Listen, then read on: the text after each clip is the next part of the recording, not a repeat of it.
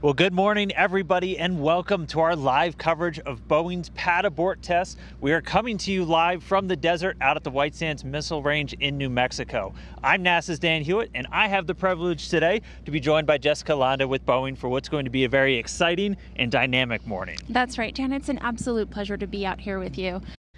So you're going to have those launch abort engines ignite. Those LAEs are going to fire for about five seconds. Those OMACs are going to continue to fire intermittently for another five seconds. That just gets the spacecraft uh, in the right trajectory.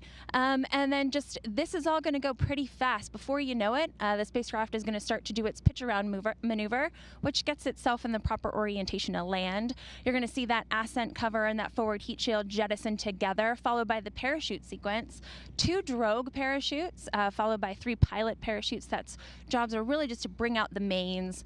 Um, and then you're going to see three main parachutes deploy.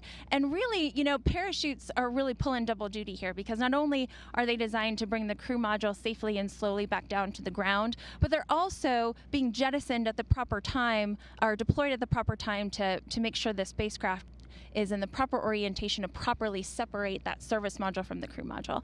But like I said, you want to keep your eyes on that crew module because that's where, our, of course, our precious cargo is. Uh, about 60 seconds into flight, that base heat shield is going to jettison, and that allows for those gorgeous landing airbags to deploy. You know, keep in mind here, Starliner is going to be the very first uh, American-made orbital crew capsule to land on land, and you're going to get a bit of a preview of that today.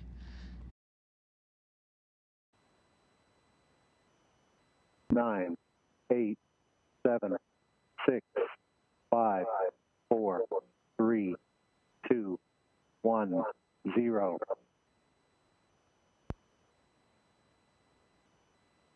Liftoff.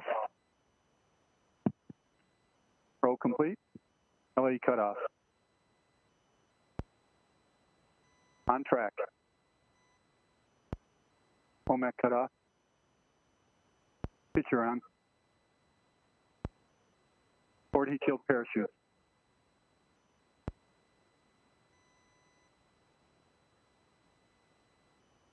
Drogue parachutes mains.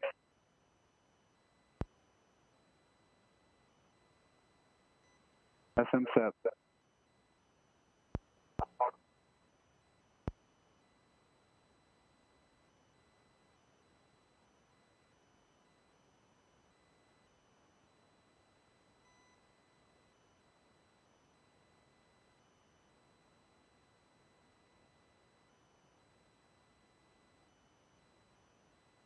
Two mains fully disreefed.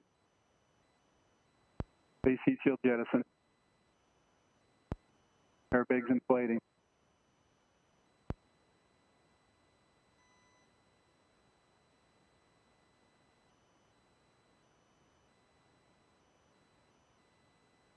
CM touchdown. That was phenomenal. Initial indication is that we've had a very successful pad abort test today.